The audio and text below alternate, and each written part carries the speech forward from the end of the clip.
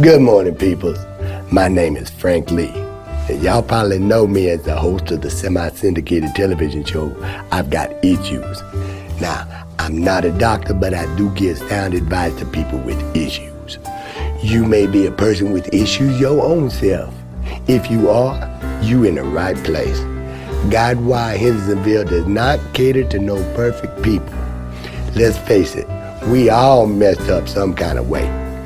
So, if you cannot get a spot booked on my television show or get in touch with my assistant Margaret and you still need your issues dealt with, I can highly recommend my friends here at GodWhy. If you here this morning, you're certainly in for a special treat. Now, I'm not exactly sure what they got planned today, but I know it's gonna be good. And if it's good to you, it's got to be good for you, whatever it is. So just sit on back, be yourself, and pay attention now, because you finna get some very good advice on dealing with life. Especially if you one of those people like most of us who can honestly say, I've got issues.